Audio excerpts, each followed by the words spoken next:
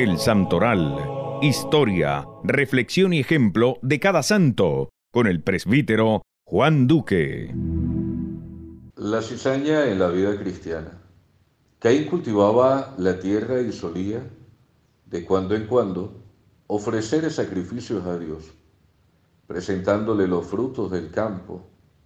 Pero más de una vez el humo de aquellos sacrificios, en vez de elevarse a los cielos, como una alabanza o como un reconocimiento de su obediencia, se inclinaba pesadamente hacia la tierra, como un indicio de que en aquellos sacrificios no eran recibidos por Dios.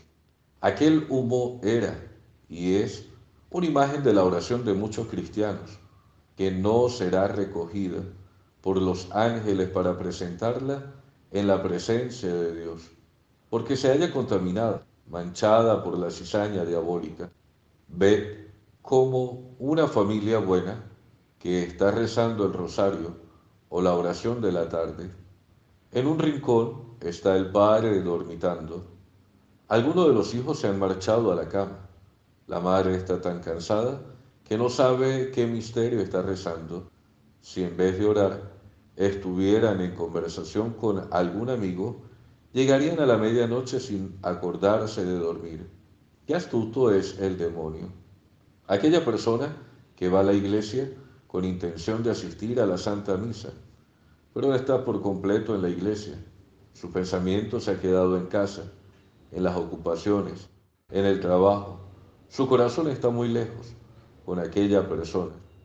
Ya advierte esas distracciones que padece pero no se esfuerza en evitarlas, asistiendo piadosamente al misterio sublime que está desarrollándose en el altar. Sus labios murmuran la plegaria, las oraciones, pero su pensamiento no sabe lo que dice. Jesús pasa muy de cerca a muchas almas y deja caer en ellas silenciosamente la semilla de las buenas inspiraciones. Les habla el corazón. Reza un poco más porque lo necesitas.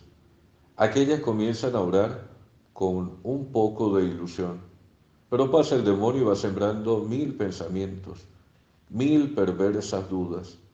¿Qué has conseguido con orar? ¿Qué haces con oraciones que hasta este momento no han tenido sentido? Mira a fulano cómo se ha enriquecido.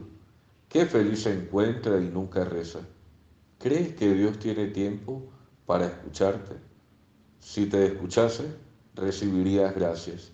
Hasta la fecha, estás por recibir la primera y las almas engañadas afloran en la devoción, acortan sus oraciones y se dejan invadir por la cizaña. Vigilemos cristianos, porque el enemigo no duerme.